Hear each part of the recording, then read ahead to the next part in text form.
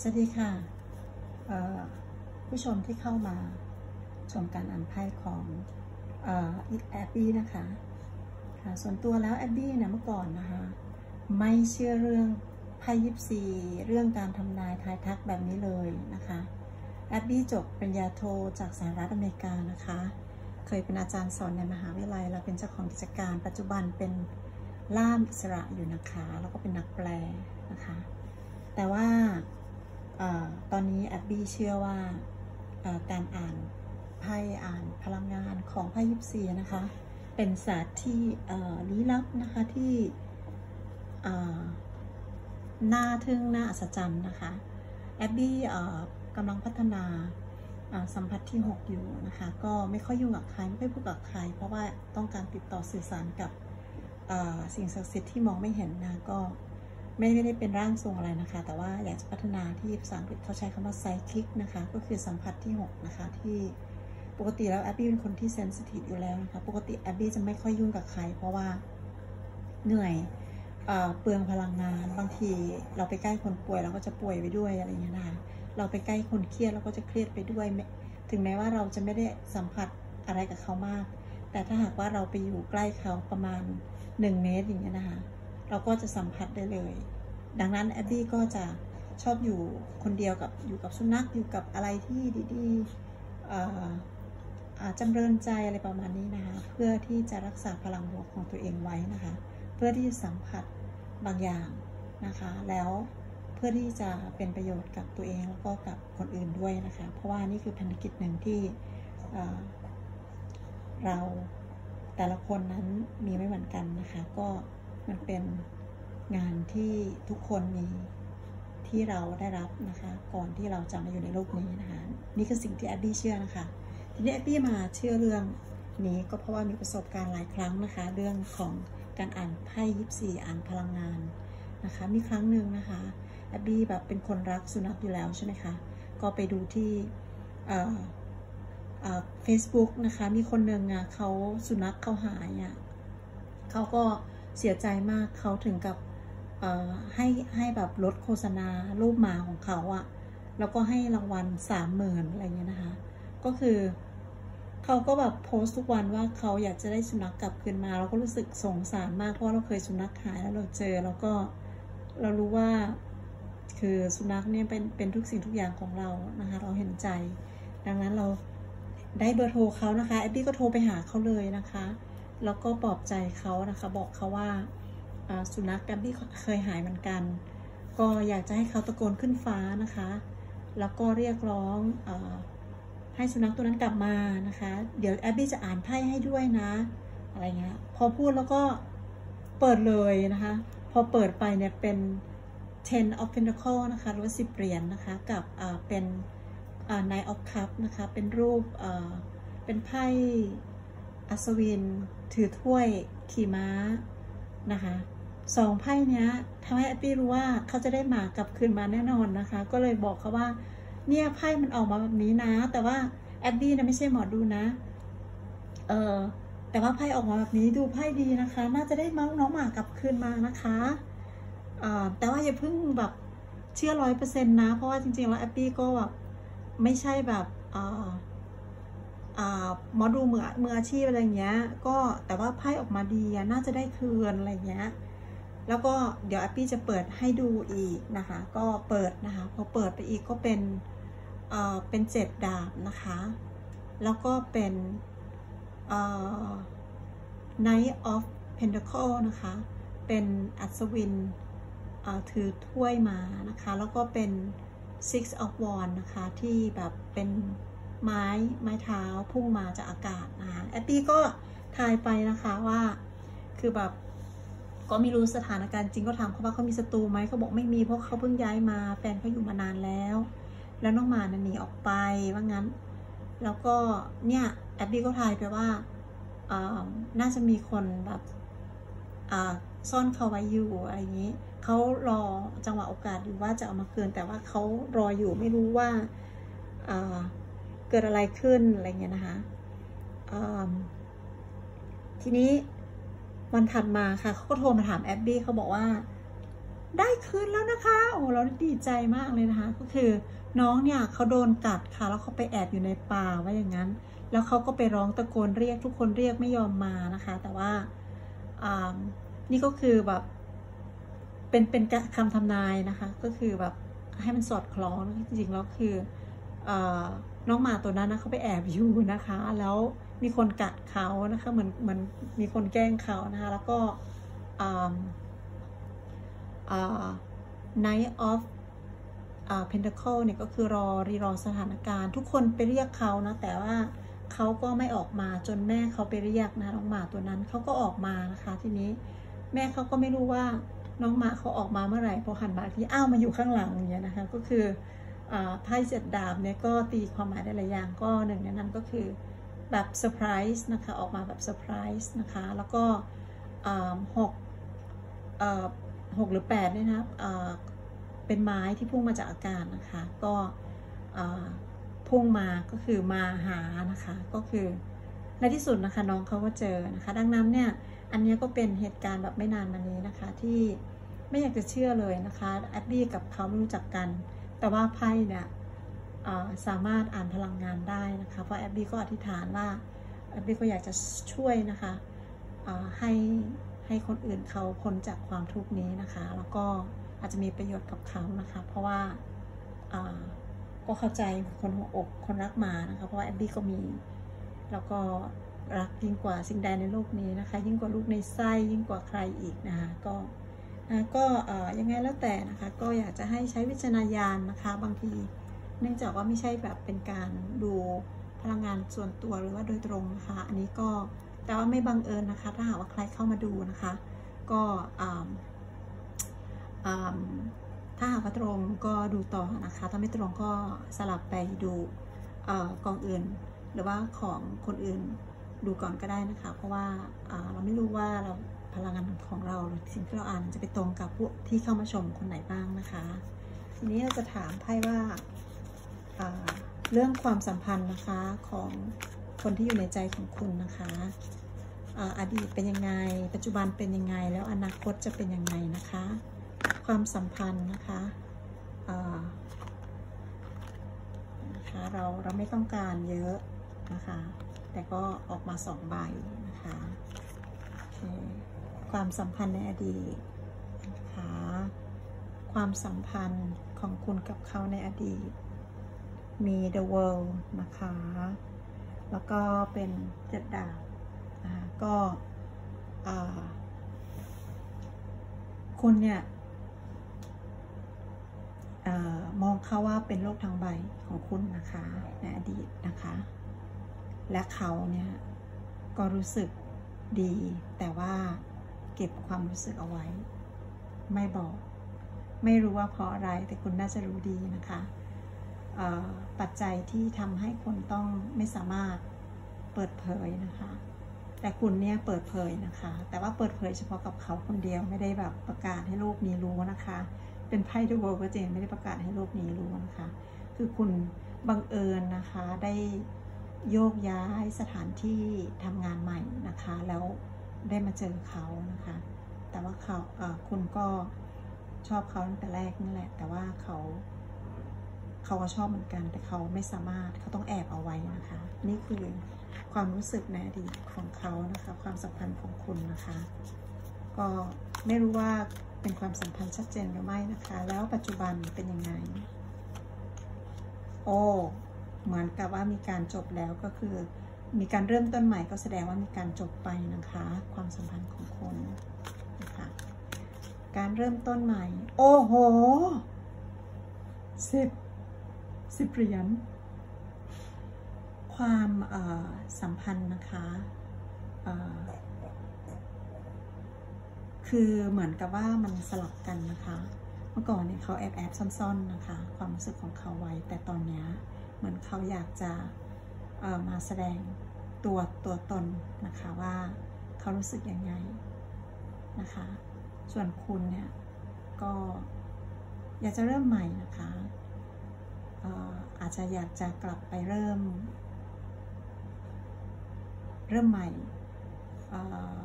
อาจจะอยากจะกลับไปเรื่องงานกับเขา หรือว่าอาจอยากจะเริ่มทำงานความสัมพันธ์ใหม่อย่างนี้นะคะ เพราะว่าคุณรู้สึกคุณคิดว่ามันจบไปแล้วแล้วเขาก็อยาก ทั้งโดยรวมนะคะคืออาจจะอยากจะเริ่มงาน อยากจะเริ่มความสัมพันธ์ใหม่ทั้งคู่นะคะ อนาคตจะเป็นยังไงคะของความสัมพันธ์ของคุณ มีการจบ และมีการเริ่มต้นใหม่นะคะไพ่เดทขึ้นมานะคะไม่ต้องตกใจนะคะโอเคไพ่เดทก็คืออการจบ ได้เกิดขึ้นนะคะ คือความสัมพันธ์ของคุณเนี่ย มันจบแล้วแล้วมันจะมีการเริ่มต้นใหม่นะคะเเพราะว่ามี Page of Pentacle นะคะ จะมีความความสัมพันธ์นี้จะมีการเริ่มต้นใหม่นะคะ ดังนั้นเนี่ย เราจะมาดูความสัมพันธ์อของปัจจุบันและอนาคตในเรื่องของรายละเอียดนะคะ ความสัมพันธ์ที่จะเริ่มต้นใหม่นี้เป็นความสัมพันธ์ที่มั่นคงนะคะ เพราะว่าดูเด็กคนนี้นะคะอยากจะเริ่มต้นใหม่แล้วก็ซีเรียสนะคะ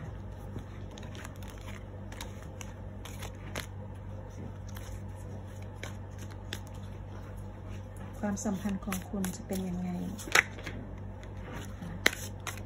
ความสัมพันธ์ของคุณจะเป็นยังไง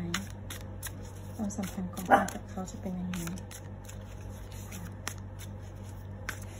ตั้งแต่นี้ต่อไป จากนี้ต่อไปความสัมพันธ์ของคุณกับเขาจะเป็นยังไงลดนี่นะคะโอเค six of cup นะคะ แล้วก็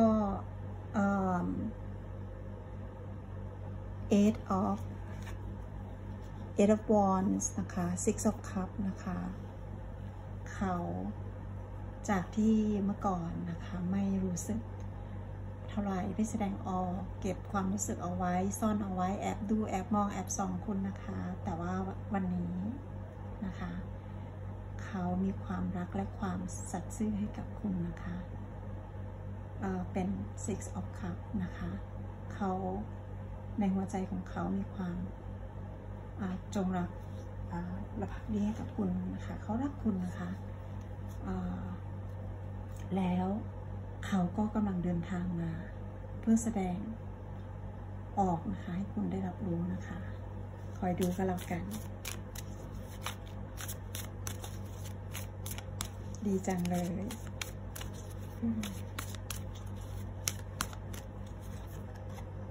โอเคนะคะ ก็เนื่องจากว่ามีการจบไปนะคะ five of swords นะคะ การจบไปที่ผ่านมานั้นนะคะ มีคนหนึ่งชนะนะคะ แล้วก็มีคนหนึ่งแพ้ การชนะอาจจะเป็นฝั่งเขานะคะ แต่ว่าชัยชนะของเขานั้นทำให้เขาเสียคุณนะคะ ก็สิ่งที่เกิดขึ้นนะคะ อาจจะไม่มีการประนีประนอมนะคะ เพราะว่าชัยชนะนั้นนำมาซึ่งความสูญเสียนะคะ แล้วก็ไม่ได้เป็นการชนะที่แท้จริงนะคะ เพราะอะไร เพราะว่า เพราะอะไรนะคะเดี๋ยวขอเปิดไพ่ไปต่อไปก่อนนะคะ เพราะว่าเวลาเราอ่านไพ่เราต้องอ่านแบบรวมนะคะ เราจะอ่านแบบแค่นั้นไม่ได้นะคะ เพราะว่าเขาได้สูญเสีย Queen of Pentacle ไปนะคะ เขาได้สูญเสียคนผู้หญิงเก่งคนหนึ่งนะคะ ผู้หญิงที่มีคุณค่านะคะไปนะคะถ้าเขาเป็นเจ้านายของคุณนะคะ เขาก็ได้สูญเสียลูกน้องที่เก่งนะคะ คนหนึ่งไปนะคะ ก็เป็นผู้หญิงที่เก่ง แต่อะไรก็เป็นเงินเป็นทองนะคะ ก็ไม่ได้ว่าจะหาง่ายๆค่ะชัยชนะของเขาจึงไม่ใช่ชัยชนะนะคะขอ ดูไพ่ต่อไปค่ะนะคะก็เขาได้ดูไพ่ต่อไปกันนะคะ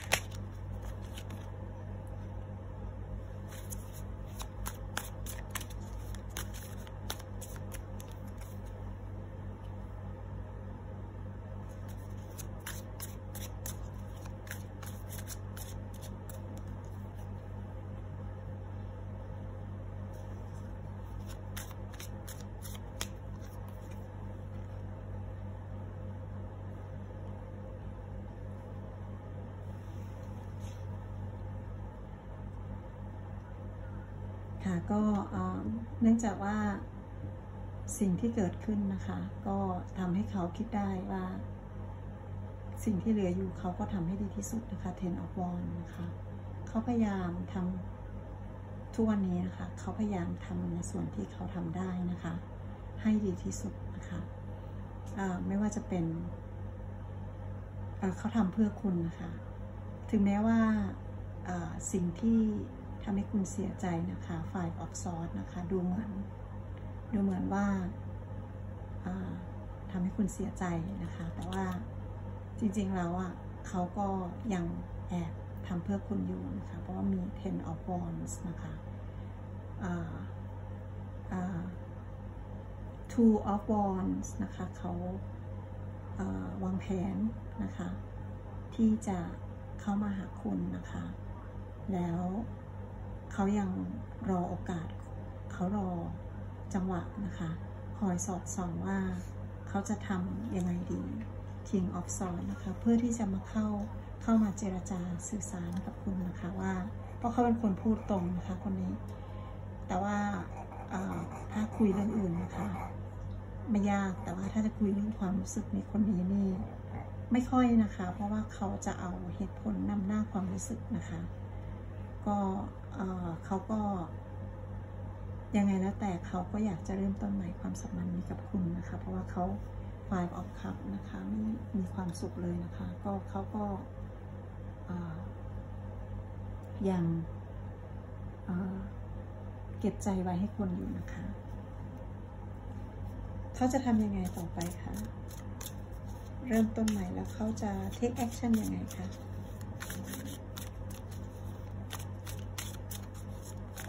เขาจะ take action ยังไงคะ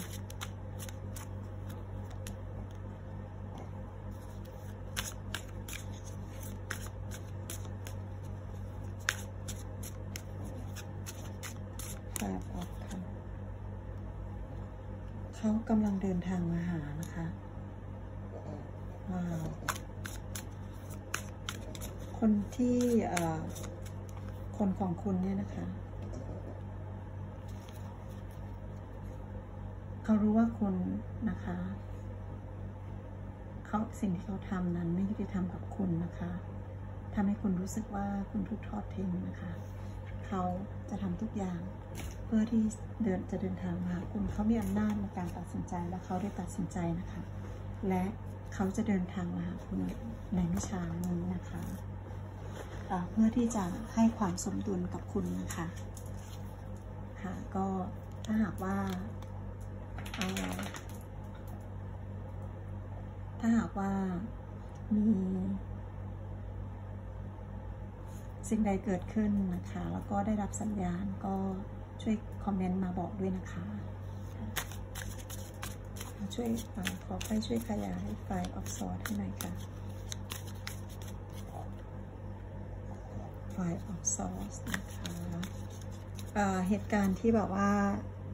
เกิดขึ้นแล้วก็จบไปนะคะ เหมือนกับว่ามี Seven of Wands นะคะเขารู้สึกลำบากใจนะคะ ที่จะต้องให้ความสัมพันธ์นี้จบไปนะ ไม่ได้เต็มใจนะคะ Ten of Wands ช่วยขยาย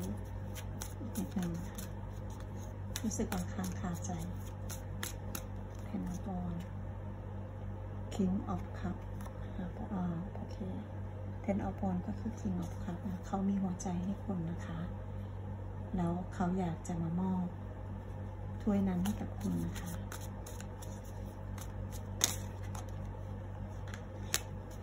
โอเคค่ะ ก็สำหรับวันนี้นะคะ ความสัมพันธ์ของคุณนะคะ ก็มีแนวโน้มว่าจะ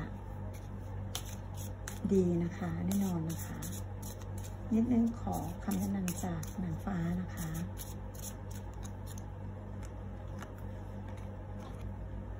unrequited love there's not enough attraction or chemistry to keep this relationship going โอเคความสัมพันธ์นี้อาจจะเป็นความสัมพันธ์ที่แบบว่าอาจจะยากนิดนึงนะคะ เหมือนกับว่าคุณกับเขาอะอยู่คนละชั้นนะเห็นไหมคะ เป็นความสัมพันธ์ที่รักกันไม่ได้ในอย่างนั้นนะคะ ก็มองได้หลายอย่างอาจจะเขาอาจจะมีเจ้าของแล้วหรือเปล่า หรือเขาอาจจะเป็นเจ้านายกับลูกน้องไหมหัวหน้ากับลูกน้องไหมที่แบบว่าด้วยวิชาชีพแล้วคบกันแบบออกหน้าออกตาไม่ได้ หรือว่าอาจจะเป็นเพศเดียวกัน ที่แบบว่าอีกฝ่ายหนึ่งยังไม่แน่ใจว่าจะเเดินกับความสัมพันธ์นี้ยังไง เพราะไม่เคยมีประสบการณ์เนี่ยนะคะ